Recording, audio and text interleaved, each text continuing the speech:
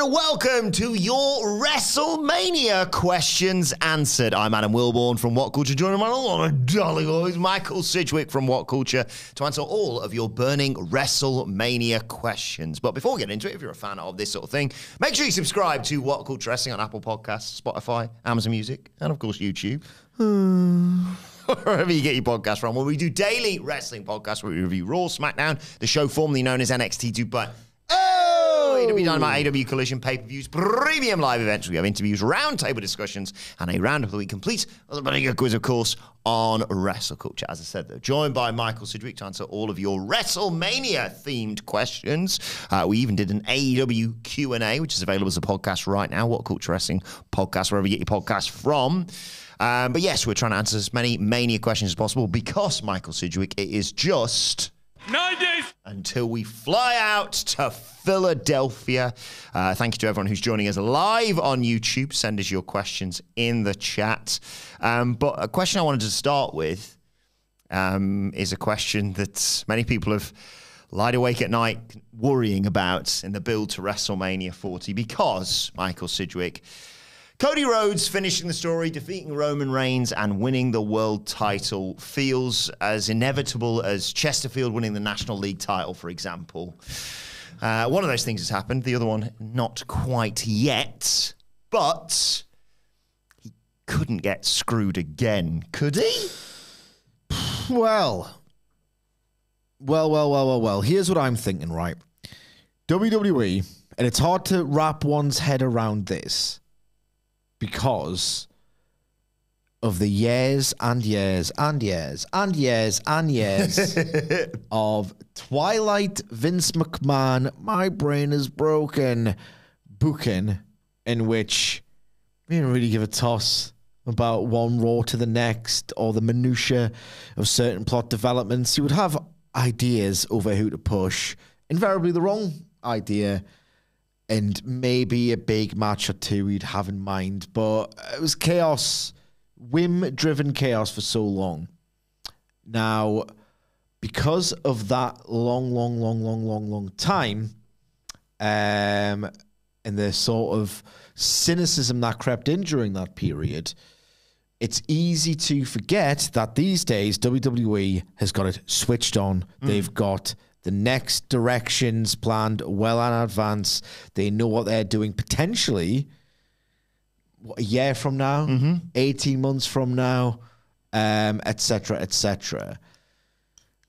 The thing is, is that the year from now, the six months from now, etc., etc., etc., at one point in the incredibly recent past, did not have Cody Rhodes as Universal Champion. Mm-hmm because Cody Rhodes, at one point in the very recent past, was not going to be in the Universal Undisputed WWE, whatever it's called, Championship yes. match at WrestleMania.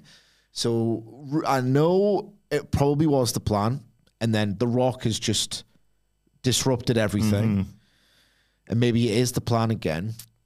But what I'm driving at here is that it wasn't, it wasn't, it was, and it wasn't the plan at separate points in 2024, and we're still just in March. Um, maybe that idea of WWE under Triple H's stewardship, abandoning those old weird philosophies of, oh, I'll just do Raw this week, or we'll change it when the show's unfolding and all the rest of it. Maybe it is whim driven. Who the hell knows? Um, at one point, the plan was for Cody Rhodes to be in the title match. At one point, there wasn't. What is it as cut and dried as you have to do it. Mm. You know what I mean? Like a lot of wrestling fans, WWE fans, at this point, when we are just over nine days away from WrestleMania, the mentality is because of what happened last year and how much of it uh, a mistake it was feared to be, and how you can't possibly do that again. The mentality is you can't do it again, mm. can you? Look, they would be stupid not to Cody Rhodes sells tickets for shows mm-hmm. to a quite ridiculous and staggeringly impressive extent by the standards of 2024 and the preceding few years. How much, Wilbourn, do ticket sales count to WWE's bottom line in the grand scheme of things? Not as much as you'd like to think. Next to nothing. Re- next to nothing compared to rights fees. This is a company that generated eye-watering profits when they didn't even tour during 2020 and Yeah. what- uh, a decent amount of 2021. Um, it's just a, a fable. that I'm telling to the viewers and the listeners here. It's like arm's length, arm's length at all times with this promotion. Just because you, the wrestling fan, the member of the WWE universe, has this mentality at this point, and I, I I've got it as well of you have to. like, you can't Yeah. do this. How many times have they in fact done this? They did it under Triple H last year. Roman Reigns was recently interviewed. I cannot remember the name of that outlet he spoke to. I apologize. If you could bring that Yeah. up uh, quickly while I talk here. And he said, as long as they cut these insane checks, you know, I'll stick around. I'll keep doing it. Was it Pat McAfee? Was the Pat McAfee show? Maybe I don't know. I'd never watch that as long as I live. That's but great. it's up to you to do it. Um, with pleasure.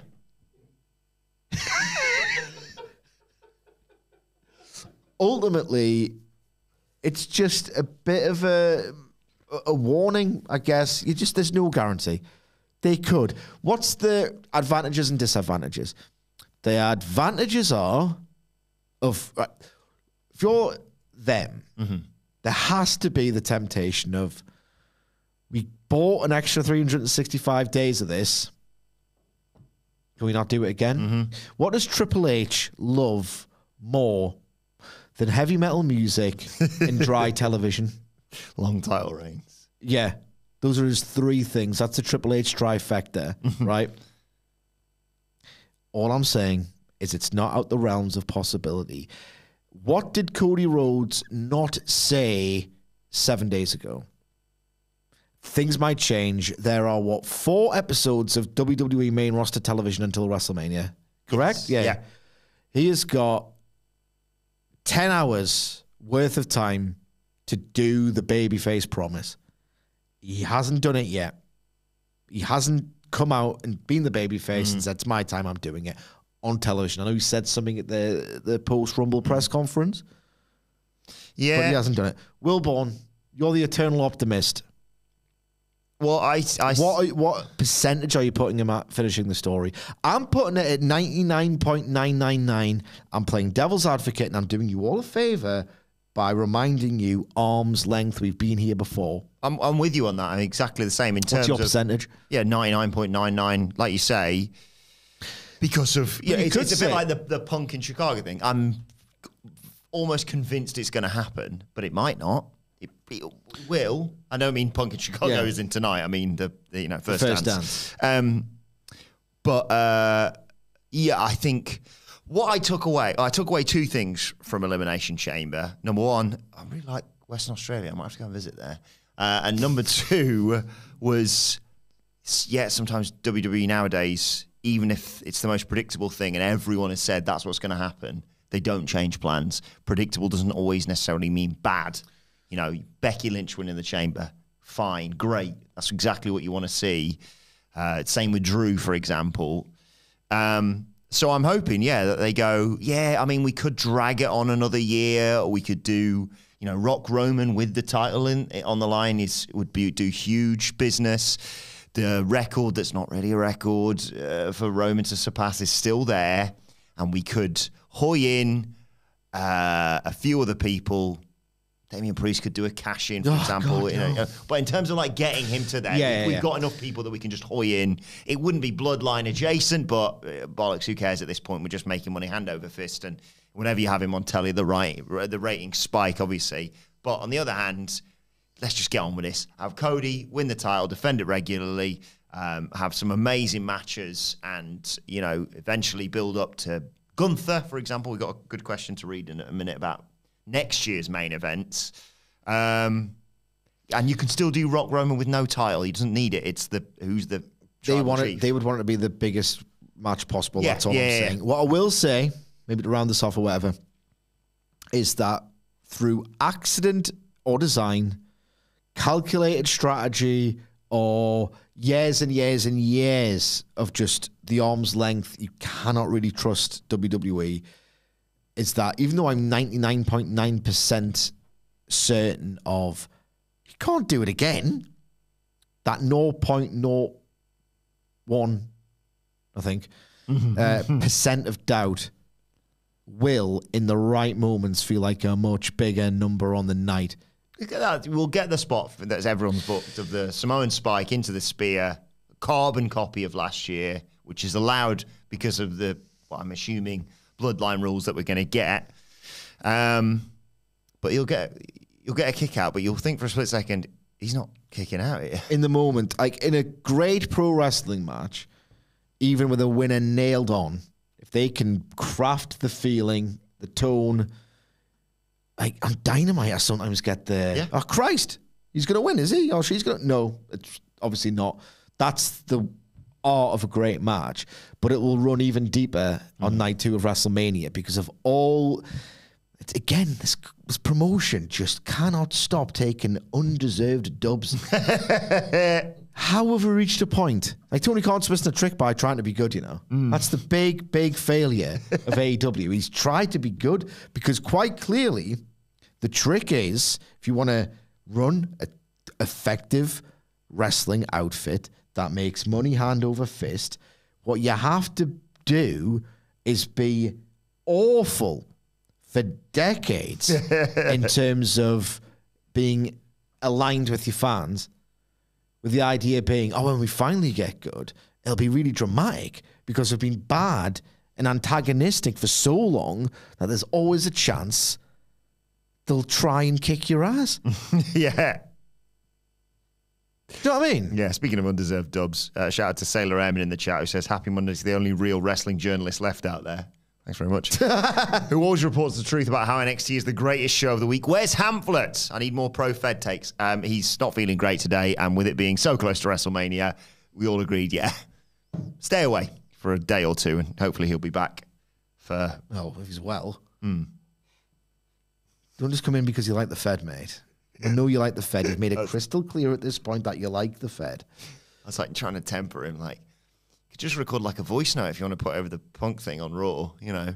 We'll just we'll just play it on the podcast. Yeah, yeah, Don't come in. Um, Matt Rains, speaking of which, is in the chat. The number one mega fan.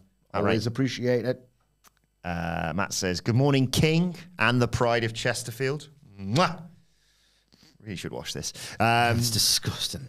He, did, he didn't even Febreze it. I need to. Well, you do because it's Why in am I- direct contact with your armpit. Uh, the uh, bloody part timer, Hamlet, this is, is probably off practicing hoops. You know what's weird? Go on. Sorry, we'll get to your question imminently. We're really happy that you send the questions and we're really grateful. Is that I know what it's like to be the parent of a very small child.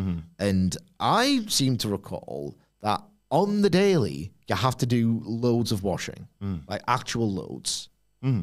because children are. Oh, they you get know, through it, yeah, yeah.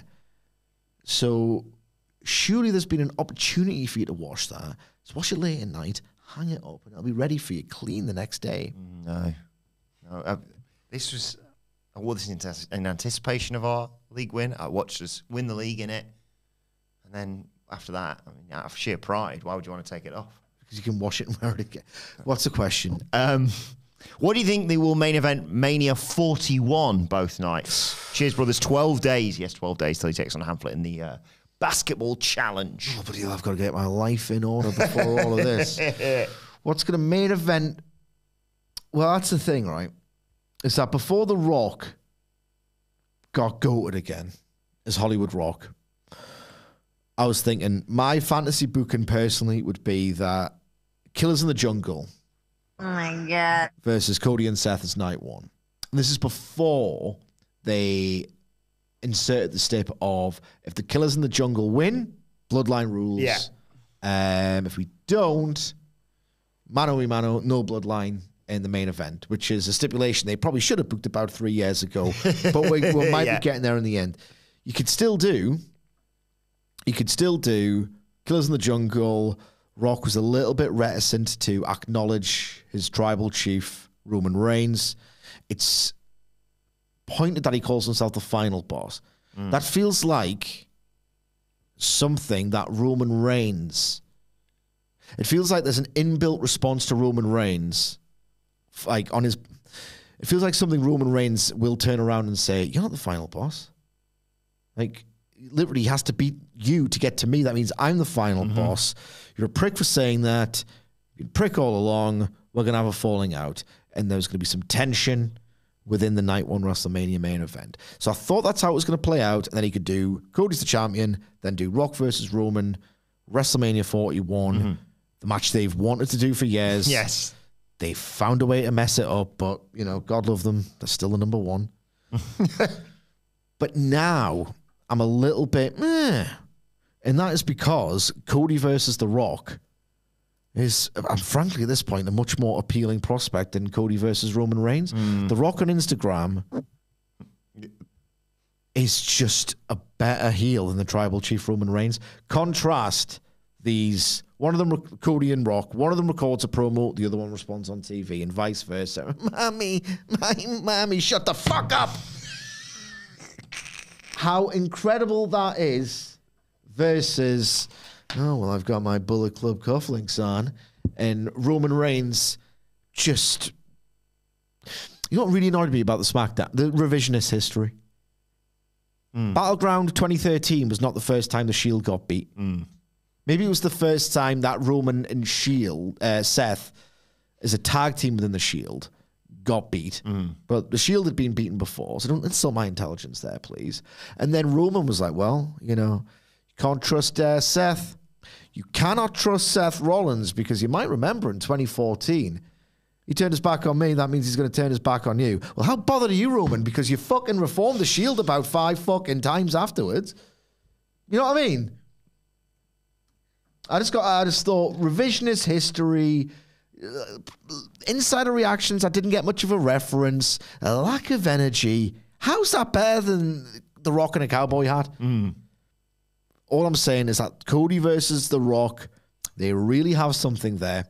I can see the Rock thinking we've really got something there as the one on one, and the Rock's on the board. So uh, Matt Reigns, I do not know, but in terms of the main event program on social media, not on Raw, I will be along for the ride. How bad was Friday without that Rock Instagram drop, though? Oh, it, was, it felt sucked. weird, yeah. Um, I'm going to go. An Instagram promo. I'm going to go Rock Roman, night two of WrestleMania 41 for the tribal chief status or head of the table or whatever. And hope more than expectation, but I, I'm quite quietly confident. Cody versus Royal Rumble winner Gunther, night one. Not reckon they'll do that at Bash at Berlin. No, well, it, I think they're going to do something big, obviously, with Gunther there, but he has to drop the IC title, and I'm becoming less and less confident he will drop the IC title. Because Triple H books long reigns. And then they'll need one someone, someone they'll need someone to uh, to still have that long reign after Don't need WrestleMania, it. where I'm booking need, no one needs it. I'm booking every single other title to change hands, basically. Yeah. Uh, and Matt Reigns also points out, love the promo notes on your hand, Sige, a la The Rock. Greatness echoes greatness, if anything. Yes, absolutely. He's, he's, he's that was his uh, wrote notes from the news, I believe, if I'm not mistaken. Though. Yeah, absolutely. Um, I don't need no smartphone. I just look at my, I, I panickedly look at my uh, hand and stumble over my words a bit. That's what I do. uh, Jeff Raidmaker says The Rock has said it will make sure that Seth will lose his title during the Rock concert promo, but I haven't heard any speculation. Any thoughts on how that plays out? Empty threat. I think it's going to be. I just can't imagine The Rock lowering himself to Seth Rollins' level. In fact, I'm absolutely stunned that Seth's even part of the Rock's orbit at this point. Um, it, ah, it's weird. I can't imagine Rock having a match with Seth Rollins. Can you? Not really, no. I think it, I think it's a, just a vague, empty threat. I think they're going to beat Cody and uh, Seth, and that'll probably be the last interaction between them. I think, yeah. I wouldn't be surprised if they did Cody and The Rock. Like, in, uh, I've said this before, you could do. I know he's doing a movie between like May and I think August. Now, more I say It's this, this big Oscar bid, what isn't it? Is it? Oh, is it the A24 one? I Mark Kerr? I think. Um, I don't know. I think I could see them doing Cody Rock at SummerSlam, Cody Roman 2 at Survivor Series, and then Cody Gunther. I don't know, you know, Royal Rumbles. You, you could get a big match out of it, but the Rumbles, the big thing at that show. So I don't know, but um, in terms in terms of Seth thing, I think it's just it's him being I'm the big boss, and he's going to disappear immediately after WrestleMania. And, and Yeah. I don't think Seth's going to be champion by then anyway. So, um, right, Steve Nikolakopoulos hasn't asked. Great work, Wilbourn. Thank you. He hasn't asked us a WrestleMania question, but that also came in prior to me saying let's just get WrestleMania questions. Um, I'll answer out, mate. Uh, Edward Shiraz Hans, as he's better known, says, uh, G'day, Shills, for TNA probably. Uh, with MJF's injuries taking longer to heal than anticipated, who do you think his first opponent will be? And should he come should he come back and be Keith Lee's manager? That's not a bad, not a bad shout. Who do you reckon his first? Adam Cole Has to be Cole, doesn't it? has to be Adam Cole. Well, Nothing has to happen. That's the thing. So I keep, I, try, I keep stressing this. Nothing has to happen. don't have to like because the undisputed kingdom are literally the la- the loose end that no one has to be tied up. Yeah. They are led by a non-threat who can't do anything because he's injured. Right. Number one. Number two, who exists to take out someone who's already severely injured. Mm-hmm. Why am I watching this on TV? Why am I being subjected to this? And if you cross them, he'll set his monster on you, who just lost the big world title match. Yeah. What a backed up by two champions who were uh, just jobbers, basically. I and the And kingdom Roderick and the kingdom have just been treated as jokes. Yeah. Roderick Strong's kind of there some of the time. It's already very much like remember the Pinnacle just stopped hanging out. Yeah. And the the Four Horsemen didn't stop hanging out. They were just and D at Degeneration X, NW, NWO, all the great stables, you know, to you know, varying degrees, um, just hung out, and he could very much believe that they were a tight knit band of brothers who just loved hanging out, kicking ass, being dickheads. What is it about AEW stables not being stables? Do you know what I mean? Yeah. Like sometimes they're together as a you know the quintet, and the rest of the time they're just not a thing. Mm. It's the dumbest thing ever. I've said this before. I apologize if I'm repeating myself, so I'll keep this succinct. The second that MJF and Cole are both healthy, just the next pay per view, and we're at a point now when the next one's not too far away. Just do a 15 minute urgent bloodbath, unfussy, wronged man versus his betrayer, gets bloody vengeance, and then find a way for MJF to turn heel. I do not need to see a build. I do not need to see a range of emotion like we got the first time. I've seen enough better than you, baby, adjacent stuff for a lifetime, and it will just be a. I just think it's something that AEW's completely moved past, and it needed to. I would just want to see this blood splattered 15 minute grudge match. You wronged me. I'm going to kick your ass. No build. Just do it and get it over with. Yeah. And surprise people as well. Don't do melodrama. Don't do this long build. Don't strain for epic. Just get it over with. What more motivation could these guys need to wrestle each other at this point? But we're not going to get that. I'm dreaming. Uh, well, RW Weathers says as a pitch, MJF debuts at Mania to screw Cody again because, like I've always said, uh, he will lose. Cody can't win, won't win. He can't win. I've invested too much cash into this bloody goated podcast. I will be proven right. You will acknowledge him. God damn it. MJF to debut at WrestleMania? No. Not this one, at least. Not this one, at least. He might debut at WrestleMania down the line. Um, wouldn't it be awesome, though, if, like, all. This is just a bit of a thought exercise, right? All. No respect intended to Roderick Strong, right? Who's great, Oh yeah, great, great, great in the ring, etc., etc. But, like, can you imagine that Roderick Strong moment on Dynamite where it's like, holy, they released him and he's on AEW TV? Yeah. Like, one of the first, if only. I, I wasn't even connecting any dots there. I was thinking, oh, he'd probably turn up. He's a wrestler, so Tony Khan will sign him.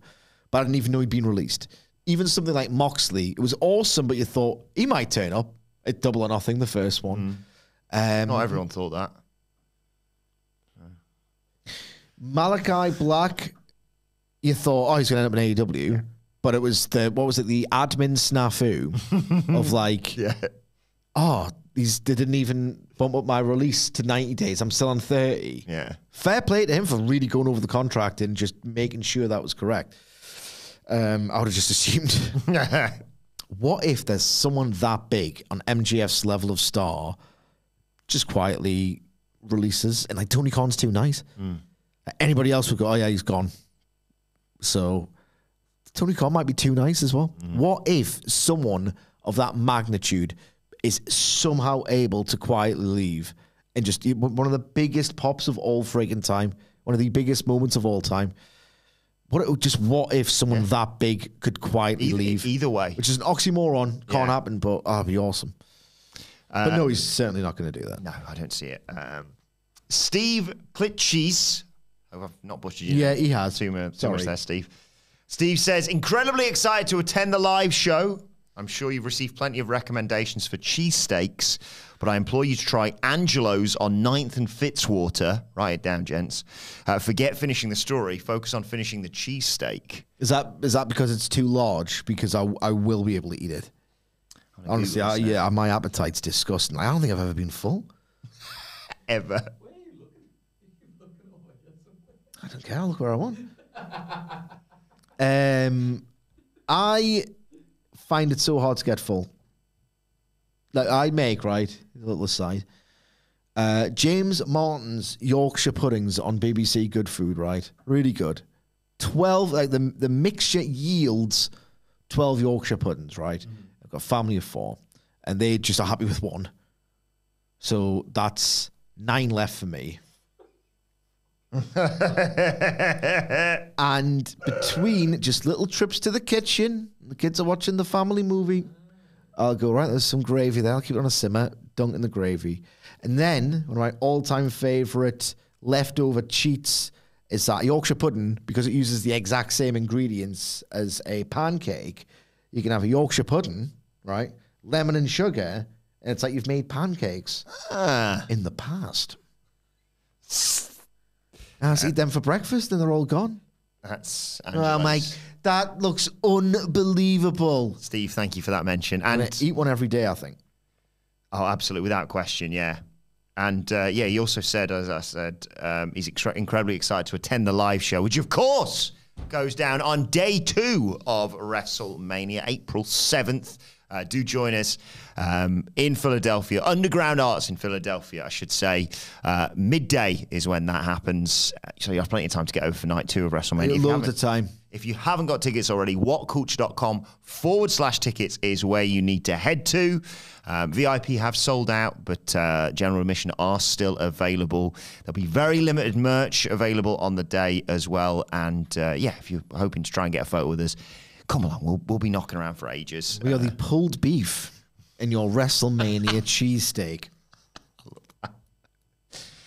Uh, OG Stem Cell, thank you as always. Brings us our next question. What match and segment would you show someone who doesn't watch wrestling but wants to check it out? See you later, guys. I'm glad he said wants to check it out because there are some people who it's like they just can't, they just don't want to. They're not wired to even begin to comprehend it. No. What match and segment? Should we keep it Mania specific? Yes. We shall. segment segment wise. And you know what? I've got a really good idea for why this is the one to do as well. Okay. Mania specific story about this, right? Is that I think one of the best, I think it's better than the Bloodline. Um, maybe even better than Brett versus Owen because, you know, SummerSlam, it was like, I, I, I kind of get it. Still great, but, you know, it peaked at WrestleMania. In terms of when it just began and when it ended, a nice, I know they did matches after the fact, right? But like, just in terms of a premise, the weekly television, the big match, one of the best stories they ever told, Shawn Michaels versus Kurt Angle, right? yes. Because you had this great, great, like they were just this great idea and this great premise, and it actually meant something because at the time they were really quite strict about the brand split. So it did feel like, oh my God, Kurt Angle's interacting with him at the Royal Rumble. Like, oh, Shawn and Kurt interacting. And then they had the, I can't remember the exact angle, but didn't one of them get thrown out and then illegally eliminate the other at the Rumble? Yes, I think you're right. I was like, oh my God, they're going to wrestle WrestleMania because they've been kept apart for so long. And because wrestling fans had been starved of like a true jump, Like whenever the promoters someone from developmental, obviously they failed and then had to get good. um, Goldberg kind of didn't count. Um, basically, it was four years of monopoly rule, and he'd been starved for like a true like promotion jump or to wrestlers who feel like they belong in different companies. So Kurt and Shawn, by the standards of the time, felt like, whoa, this is not how it's meant to be done. And that was, I can't tell you in 2005 how much that energy was needed. Nothing on the line, but yet everything on the line. Yeah. Yeah. And then the whole idea, as you'll probably recall fondly and well, is that Kurt Angle's just livid. hey, he's got it in his head that he needs to be better than Shawn Michaels. So much so that I can do whatever he does, but better. Sexy Kurt remains one of the best things of all time. You have this completely brilliant dork He's so good. like that.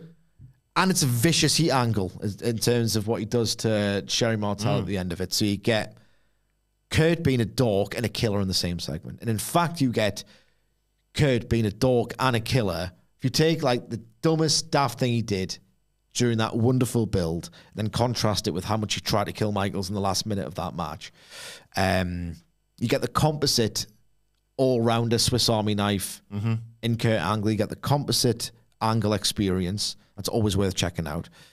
Um, and the match itself, right, is you know how there's always that debate about has Kurt Angle have a, had a five star match and it was it, it really exhausting. I would argue that the one against Shawn at Mania is, and this is because right, uh, it's 2005 WrestleMania 21. Yeah, that sounds about right. Um, um, I've taken a year up. I'm going to go to Leeds Uni. A lot of my mates who live in Gateshead decide we'll all go to either Newcastle or Northumbria universities, which is our equivalent of college, and we'll get a shared house. And they invite some me around, um, some other lads around. Basically, everyone at school who liked the Attitude Era would all kind of fallen off. yeah. But let's reunite. It's the casual fan thing of WrestleMania once a year, right? And we all go around to the shared house in Jesmond, get some beers in, stay up late. It's the UK WrestleMania. And bear in mind, these people aren't the type who've gone, oh, this Ring of Honor thing, we'll get them DVDs. Or we'll still we'll stay with the ultra casual, we'll watch it again for the crack. They were reacting like a PWG crowd in 2005 in Jesmond, Newcastle upon Tyne suburb, to Angle and Shawn Michaels. They were going insane for every single near fall. So, like, demonstrably, at least this is anecdotal, but eight lapsed casual wrestling fans mm-hmm. went crazy for Kurt Angle versus Shawn Michaels. I was literally there. The, the the tired example is, of course, Rock Hogan to show someone because it's just you know you don't really need to know a lot. Everyone knows. The You can Rock infer, yeah, yeah. So rather than do that, You know, commentators tend to tell people the stories of the matches. yeah, uh, I'll go uh, segment. I mean, is lucky enough to be there, so I'm going to be incredibly biased and say Stone Cold Steve Austin on the Kevin Owens show. It's the main event of you know night one of 38, of course, but it leads so beautifully into it, and you don't need. I mean, you know, even the most casual person will know who Stone Cold Steve Austin or what was Ash call him? Stone Cold Steven. Steven Stone. That's it. Shout out to Ash Roman. That was tremendous. Um, but everyone kind of knows who he is, and if, even if you don't, when he comes out in Texas and the roof comes off the place, you know, oh, this is big time. And all you need to do is go, yeah, this guy hasn't wrestled in like 15 years Yeah. or whatever it was. Longer than that, far longer than that, in fact. Um, in terms of a match, if you'll allow me, I haven't watched the the promo. Before. Elimination Chamber 2020. Shayna Baszler. if you'll allow me the promo that builds up to it, if it's be- if it's been edited the right way to establish the match for them, I'm going to go a match that you and I were both in attendance. All three of us were in attendance for. I'll go Daniel Bryan versus Kofi Kingston. Oh, God. Just a wonderful, cathartic moment as well. When he, and you just say this guy's been there for 15 years because everyone knows the experience Yeah. of you know whether it be a, a, a Premier League footballer or a, a M- MLB star or a, you know who's always been involved but never won the big one. Never won out. Yeah. So that's why I'd, I'd you know And like should have ended Ma- Mania at that point. Really, Yeah. if it was two nights back then, that would have been the perfect conclusion. Bryan So- Danielson, there's no one better at basically conveying that he's insurmountable in a match. Mm. That's why, like, everyone says, oh, he loses too often. Every time he wrestles, I don't think he's going to lose because he's so He gets good. reset, yeah. Yeah. Uh, Kid Icarus, thank you for joining us as always. Says, good day, gents. Uh, why do you think that Cody's babyface run in WWE has been a success while in the AEW, well, in AEW the fans eventually turned on him before the end? Um, I think they've kept it simple. Yeah. I think they've kept it simple. Um, what I love about Cody Rhodes, and it's what has made wrestling as it is today, uh, with competition, and it all stemmed from not necessarily All In. AEW was in the works tentatively at the time of All In, but if not a pilot, it was proof of concept, like to advertisers in the TV industry. Look how big it could be. We could have this every week, sort of thing. Um, Cody Rhodes is a man, and I respect him profoundly for this. And like we needed a guy like Cody Rhodes, just takes these incredibly wild swings, whether it's setting himself on fire or you know whatever, Getting a neck tattoo. getting a neck tattoo, attempting to solve racism, like yeah. being the guy to say he was just a very very impulsive. I'll never win the world title again, or I'll get a neck tattoo, or I will try and solve racism uh, if anything. Wild swing after wild swing after wild swing. Um, I will beat Terry Funk in a multi-man ladder match, but I'll come out and keep fighting. I'll threaten to retire if that gets you Yeah. like emotionally engaged. It's wild swing, wild swing, wild swing. In the culmination of so many wild swings, it becomes less about being ambitious. And it, I think a lot of people sensed, oh, he's very desperate, isn't he? Very desperate to get a pop. You can't like tease retirement, try and solve like the problem that has plagued the United States of America since the country formed. Mm. Like, you know what I mean? You cannot keep doing this and not think people will think of you in turn as like, who's he think he is? Mm. in WWE, and like, and I will eventually reach a criticism when I'm talking about WWE. Don't worry about that. I will find a way. I will always find a way. It's that there is, and this is the AEW story in terms of the various things I've tried. We saw with MJF last year. It's like you don't want to ever go to the other end of the extreme, but there is a limit to how much you should let a wrestler do. I agree. We've seen it with MJF. We saw it with Cody. Um, we're seeing it with Jericho. It's like, I think because WWE was so the opposite for so long of you can't do this, don't wrestle this way, you can't go that fast, you can't do this move, you can't say this promo. It felt like allowing the wrestler to do anything and everything was like, oh, that must be the opposite of bad. The balance is somewhere, if not in the middle, then 70, 80, 30 20 um, in terms of my personal opinion. AEW does it better, but WWE should not be the dirty word. They hmm. should not be the hmm. dirty word. Part of them saying, no, you shouldn't do that this week or don't do all of that is, yeah, it, the, the TV can be dry. But at the same time, it's like you just sometimes need to score some tap ins some weeks. And Cody hasn't been allowed to be too much in the way of Cody Rhodes. And it's like any kind of like storytelling or any kind of art, discipline is a big part of creativity. It just didn't feel that way for a long time because WWE was so far in the other direction. So Cody's been reined in, not to the point where you suppress his personality mm-hmm, mm-hmm. or you tell him don't do what you're good at, don't get over. That's obviously stupid. But discipline is fundamental to creativity, and I think WWE and Cody Rhodes are a great, great fit. I, I I think WWE deserves credit in terms of I think you and I both sat here and said immediately after 39, still going to be the guy? Is he still going to be as hot as he is right now as we head into WrestleMania 40? If that's when they decide to finally finish the story, um, they deserve credit for the how they booked him in the interim. They deserve uh, acknowledgement, even if accidentally. Them saying, "Ah, yeah, Cody's not going to do that. We're going to do the Rock," and then pivoting has reignited this incredible passion behind him. It's eventually going to happen. I'm really excited to see what it looks like when Cody, the fans turn on Cody, and Cody goes, "Yeah, it's time," and we do because I, you know, it's something you always look forward to. I used to just look forward to it when, you know, when Punk finally you were like, "Okay, they've gone with Punk now. This is proper, not Summer of Punk." Da da da da. He's world champion, and now we've got to wait about three months, and then he'll go yeah, I'm going to attack The Rock on Raw 1000 or whatever it may be. I want to see what the heel version of Cody in WWE looks he's like. like, he was. You could argue outside of Punk, MJF, Balor, who doesn't deserve, who doesn't get as much credit as he deserves. Uh, Cody Rhodes is one of the best heels of the 21st century. That Bullet Club T-shirt where he redesigned the logo, like people were genuinely like, "You can't do that." Broke the internet. I remember people just so going, great, so, so f- funny. But yeah, I think it's going to happen eventually. Um, but you're right in terms of just keeping him on a, a bit of a leash. I think is is the way the way that they've managed to keep him in this position. Uh, Kid Icarus continues, by the way. Another quick question: Would you like a tease?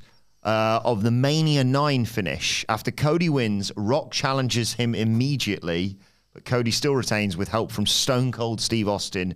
Or does that take away from Roman losing? Imagine the tension. I, I just don't think they'll burn through that match. I don't hate the idea, but it's in that group of ideas of like, um, it's an example here of like Punk coming out of Cult Cult of Personality, uh, MJF coming out of Cult Yes. of Personality, or I know there's probably various other examples. There are some ideas that sound so much better and cuter in theory than they would be had they actually played out. I wouldn't have Austin involved in the main event title picture at all. I know he's got that history with The Rock, particularly at WrestleMania, but you could argue that they've already sort of diluted Cody versus Roman with The Rock being involved. Um, I wouldn't want to dilute that match any more than it already has been. I'm contend on the night it's still going to be white hot, Oh, but they're risking it a little bit, so I just I wouldn't. Yeah, I wouldn't. I wouldn't do. Although you could do Rock challenges Cody, and the show goes off the air, and they say, "Hey, you have to tune into Raw. We've done it before. You've just won the title. You have to defend it again, but we'll show it the next night." That was the big show, but it was slightly different. Um, Next question. uh, I think Austin's going to get involved. I just think like I, I saw a great tweet actually about pairing people off. If you're not going to do Sammy involved in this, or Kevin Owens, for example, so Heyman can just be gotten rid of by whoever. yeah. Cody's more. Uh, and you have Jimmy and Jey. They take care of each other either on the same show or night before or that night. And then I, I, thought, I was like, okay, so you've got that taken care of. You've got Rock and Austin. That makes sense. And I was like, Jesus. Someone said, I do apologize. I should have written down who tweeted this first. Solo Sikoa gets taken out of the match by John Cena, who, of course, Solo murdered at the, I think it was the Saudi show. I he's on great guns since then. Um, but yeah, it, you know, you could, it, it, it's it's one That's of those. It's just going to be so much shenanigans, like you say. Yeah, it's, uh, That's why that's why my allegiance switches from night one to night two. Bloodline and then Cody. that's why I would do dissension within the Killers in the Jungle and have the Killers in the Jungle lose and just keep it simple. I, I, do- I- I just want Cody to win it decisively. Because my worry is if they do too many shenanigans, they are giving themselves room to book some kind of banana skin finish, some kind of really thin pretext to continue the bloodline saga, and it just doesn't look like Cody's the man. Or just yeah, weakening Cody's win. What you want is to everyone to get cleared out, and then it's like Another- oh, another- one of yeah. Another five minutes, yeah. Uh, Mr. Phoenix says, Hope you all come to Toronto for Money in the Bank weekend. Don't know if I've mentioned that. Also, birds aren't real. So, what is Lyra really? Lyra Valkyria, therefore, would just be person, I suppose. Um, a priest cash in at Mania, Sidge. Cody, Roman, Seth, or Drew, what's the worst option? Damien Priest is just not over enough. Damien Priest is the worst He's just not over enough to cash in. The best option is he makes Seth and Drew a triple threat for me, uh, if you have to do it. It's, it's just The worst option is probably Cody. I keep Cody Rhodes nowhere near Damien Priest, nowhere near. Um, the thing about Damien Priest is what? When was Money in the Bank? I think June or July. Let me double check. Oh God, sorry. I've still got that picture from Angelo's up. So say it's June, right? Ma- uh, It's the first of July because it was the, my last night out. All right, I okay. believe so. So if you cannot stay hot from July to March, and, Priest has been cold for, he didn't just turn cold this month. If you cannot stay hot for less than a year, to the point where people are half dreading the idea of you cashing in at WrestleMania, or don't believe you're credible enough to cash in, or whatever.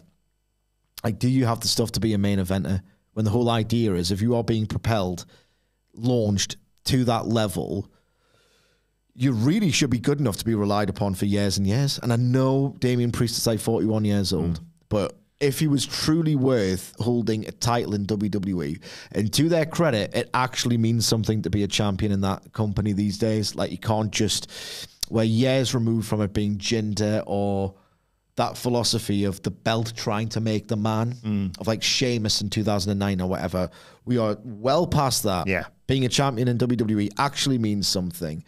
And if you cannot stay hot it's an act for like less than a year, I don't know what a, a good scenario is at this point. Big MGM in the chat actually makes a very good point.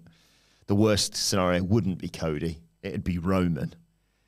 Done all this run of Roman Yeah. Reigns to just be like cashing, cashing after he's had a match as well. I mean, that's never happening though. And again, like the fact that it would never conceivably happen, and I know they're two heels. So if you can't imagine your Mr. Money in the Bank cashing in on your top champion because it's like one of them so much more over than the other. What are we doing here with uh, Damien Priest? Um, I don't think it's been a particularly good period for him. Um, and I know WWE doesn't emphasize match quality as much as other promotions do. You still have to be able to hang in that main event level. You just do. And I have seen precious little evidence that Damien Priest can. Shout out to the guys at Business Company Network who say we at BCN love Sidge's takes and can't wait to see what develops at WrestleMania. That was a lovely comment. Thank you for that. Thank you. That sounds like um, not legitimate. the Business Company Network. Uh, Jeff, Thank you nonetheless. Yeah, thank I'm you. proud. I'll, uh, tweet me and I'll uh, see if you're legit. Jeff Rainmaker's been back on saying, "Hello, legends. Who do you think will win the battle royals? I know they don't matter, but Jade Cargill winning Battle the Royals? We don't know. Nothing's been mentioned I didn't yet. think so. I do watch They normally hoy him on SmackDown. Well, they certainly hoy the Andre on SmackDown. I haven't mattered in a, a long time, obviously. Um, Jeff They says haven't mattered since about, I would say, June 2014. Jay Cargill win the women's one seems perfect for her. Pop in the moment, no payoff afterwards. I was going to say I was going to be very cynical then, but you were completely cynical thought before me. Um, it's at this point the Andre has got such a stigma as the thing WWE doesn't care about. I tested him on whether he can remember the like. The, he got them all, obviously, because he's Doctor Fed. But like, if you if I if you ask me, name the last five.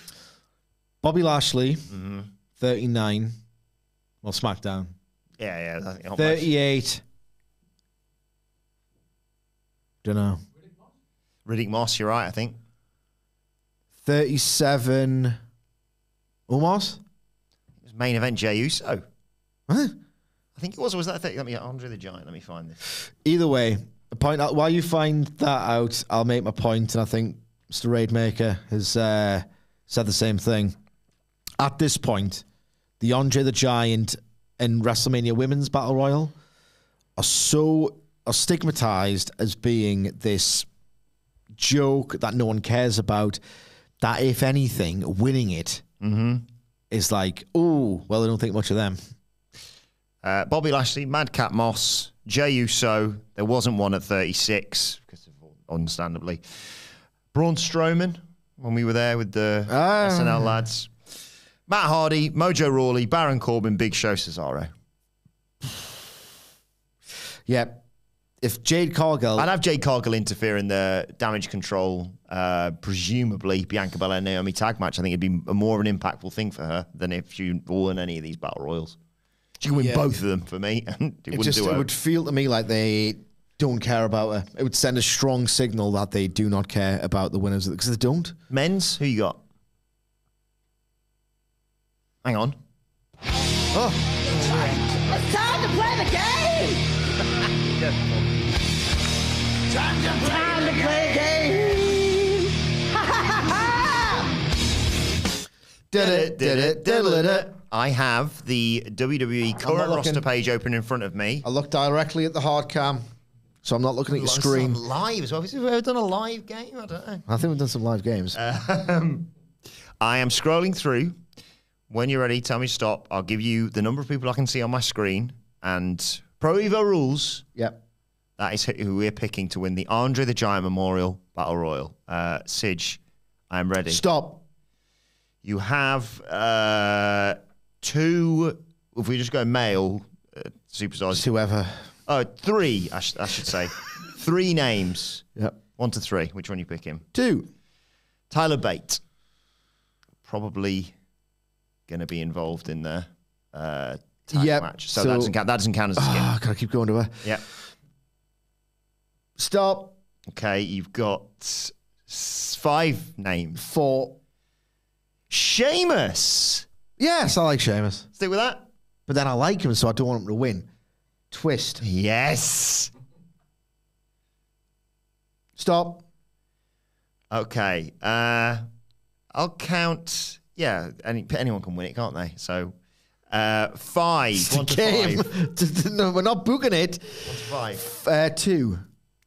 Uh, it's Mike Rome. The uh, he's backstage interview, so we can't use that. That one doesn't count. Uh, I'm scrolling through again, Sidge. Yeah, I'm with you, Nicholas. He's just uh, yeah. Uh, stop. Uh, oh, three. One to three. One. Yes. I think you might have picked the actual shoot winner here. It's your boy, Julius Creed. But I like Julius Creed, so we're gonna Oh, twist. It's all on this one, Sidge. I have to stick to this, and this person's going to win. Stop. Right, Booker T. Uh, one to three. Uh, one. No, no, no. You can't pick No, no, I've already picked it. So Gable Stevenson. uh, three. Grayson Bloody Waller. It's Probably. It's probably uh, Grayson Waller's ceiling. I'd like that. Me and Hamlet were laughing at the back. On the principle of, oh, I like him, so I don't want him to win. I don't like Gable Stevenson. yes. He's just uh, null and void, Yeah. much Um, like his personality. uh, me and Hamlet were uh, laughing about the fact that Austin Theory, despite the fact he's a previous Money in the Bank winner, I know it doesn't really matter, but it is kind of funny that Grayson Waller has a better rating on 2K than uh, Austin Theory. Anyway, um, oh, speaking of Julius Creed, Tactical Penguin says, What wrestler, in your opinion, is being slept on or is one great night away from breaking out? Buddy Matthews is so underrated, IMO, says Tactical Penguin. Can't remember the last time he talked, but I think it's his only downside. just on Buddy Matthews, he is so explosive. I think that he doesn't have the intangibles or the charisma to be a top star, and that's fine. But at the same time, he's so unbelievably talented inside of the ring. In this kind, there's no depth to it, really. Then again, he had a match with Orange Cassidy that I thought was really strong storytelling wise. Maybe he does deserve a weekly run to see what he can do. He's never had it on a pretty big stage. Um, as part of the House of Black, he's got really cool body language and in ring storytelling, how to present themselves this really formidable unit. Yeah, maybe I'm talking myself uh, talking myself into Buddy Matthews being used more, but certainly he just doesn't have the aura as a mm, top guy. fair. Um, but if you're that good in the ring, you should be wrestling most weeks, realistically, if that's mm-hmm. your key asset. In terms of who's being slept on, I don't think there's anyone who I watch in pro wrestling now. The few companies I watch, let's just say WWE, AEW, and for my sins, New Japan, even though I know it's dead, where I'm thinking, ah, they should get a shot at the main event. Because I've been burned of like, well, it should be a really select group. You can't just put anyone and think, oh, I like watching them or they're good in the ring. They could be a champion. It's it's different now. I've, I've learned this. In terms of who I would like to see wrestle, way more often than they wrestle, because every time I watch them wrestle, I think you are quite incredible. Um, I think Red Velvet deserves way more than she gets in AEW. I'm always impressed by her. Diana Parazzo hasn't looked as good as she has since the debut with Red Velvet. And uh, because he's just so class, uh, Matt Sydal, he's just amazing. Matt Sydal versus Roderick Strong earlier this year was class. Matt Sydal versus Bryan Danielson from Rampage not too long ago, maybe a couple of years ago. That was amazing as well. Matt Sydal um, should be doing way more. I'm not. I'm not saying he's a needle mover. I just personally enjoy watching him wrestle a great deal. Yeah, it feels lazy to just say Julius Creed. We you've been banging the drum for him. He was in one of the first people you drafted when I did our fantasy. I don't draft. think he's one uh, like breakthrough moment from greatness. I think I'm happy to. I just want to watch him more. Yeah. Um, I think it's he's still very very raw, but certainly keep him in the mix, keep him wrestling most weeks, give him more promo time, all of those things, because I think he's got vast, vast potential, but he's still very raw. Tactical Penguin also got back in touch when you were talking about Yorkshire Pud saying Sidge saying he's never full. He should be a wrestler. You're starving out there, aren't Honestly, you, like you think Adam Copeland's hungry. I am starving at all times. Uh, and in terms, I can't really give you an answer for this because in terms of the person, I was like, when are they going to realise this person needs to step up in title contention? Well, he is, and it's going down on April sixth, just before WrestleMania at NXT Stand and Deliver. Oi, oi, oi. Talking about Tony D'Angelo, of course, becoming You, world you champion. never stop talking about Tony D'Angelo. Sailor Airman says post WrestleMania, who should Tony D's first opponent for the NXT World Title? No, that's a lie. No one has asked that question. Wait. Shame on you. Shame on you. That's the thing, right? Ilja Dragunov is an exceptional professional wrestler. Like everyone just looks amazing when they are in the ring with him, right? Tony D'Angelo versus anyone else is going to be quite mediocre. Hmm.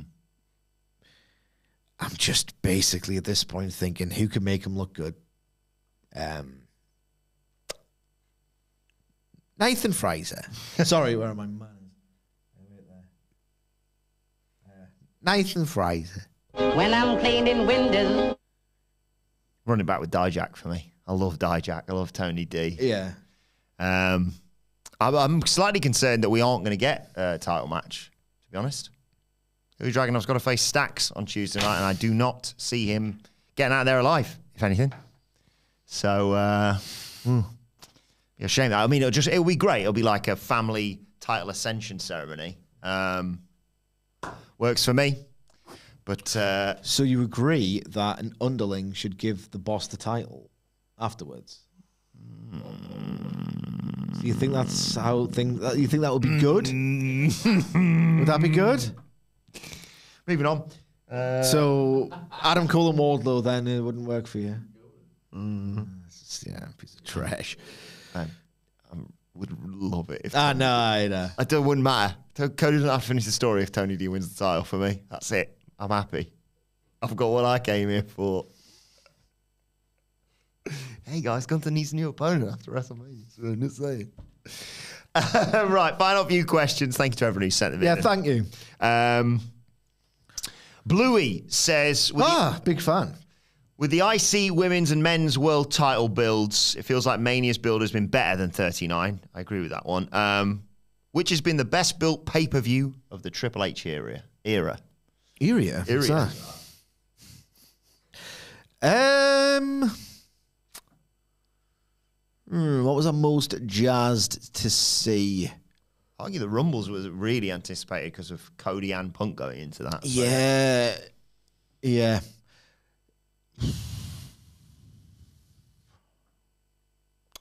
Good question.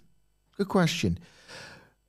I think the build of this year's Mania is, if you like take oh, like think of it as the Rock's just an automatically goated guy, mm-hmm. and everything he touches. I always do, already do, yeah. Yeah.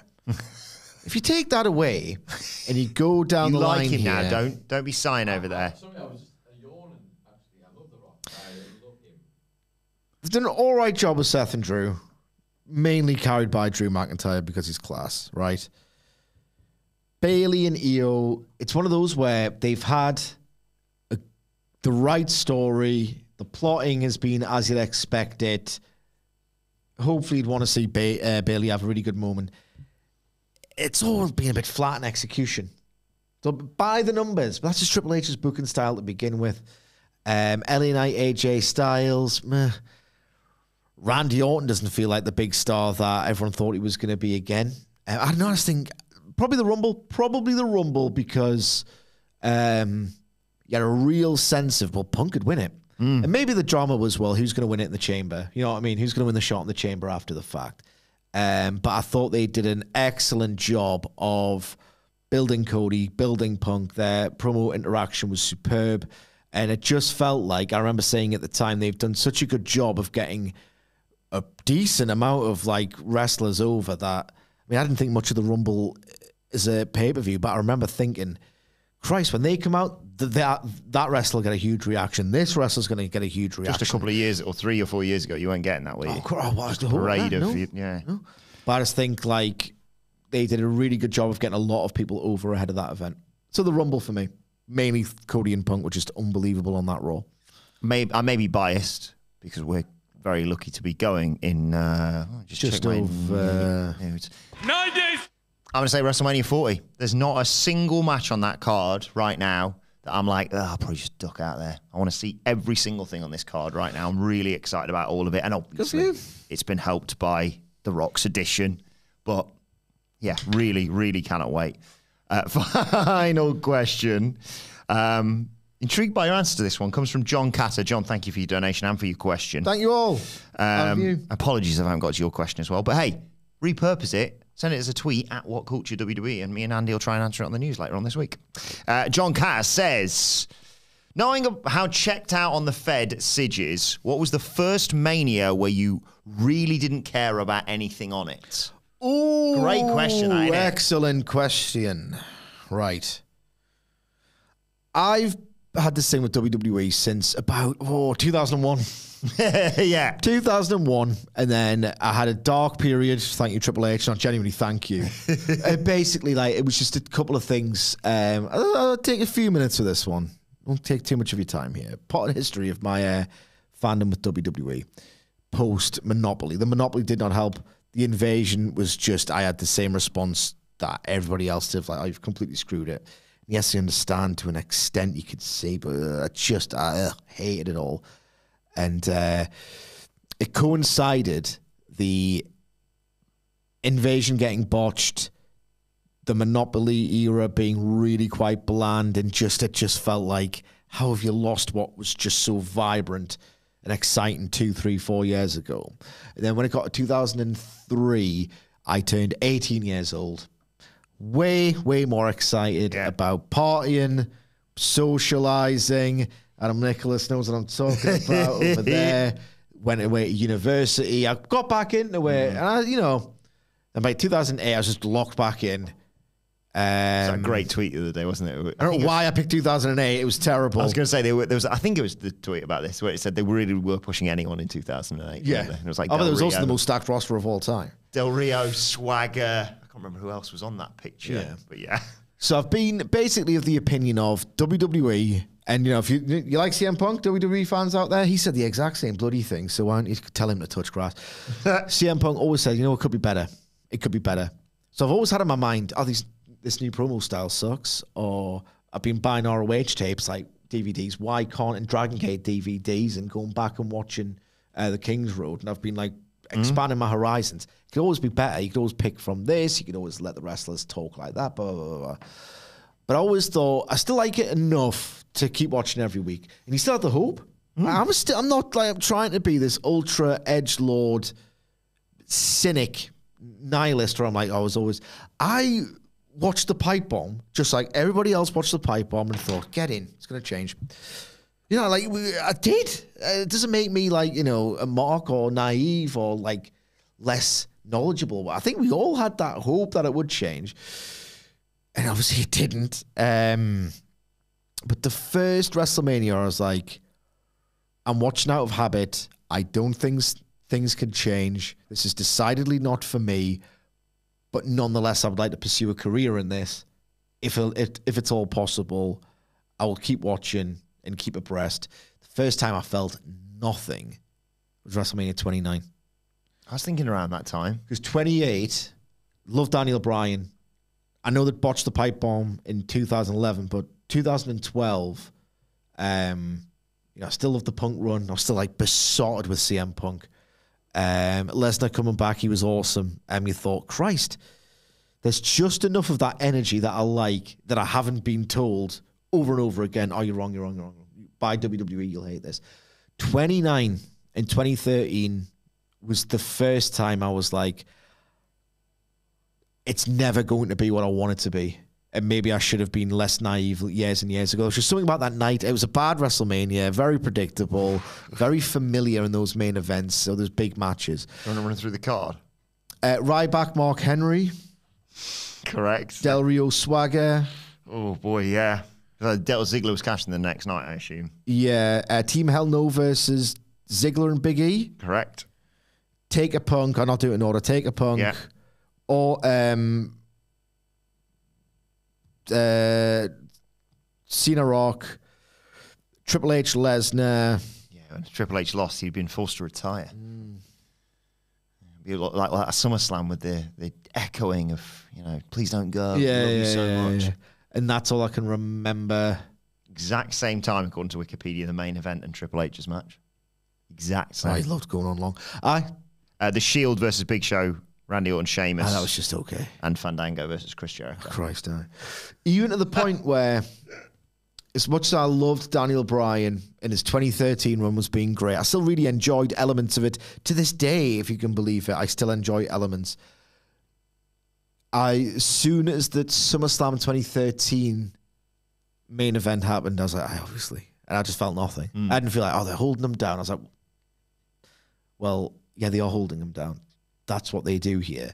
Um, and yes, I went to WrestleMania 30, um, but I didn't like.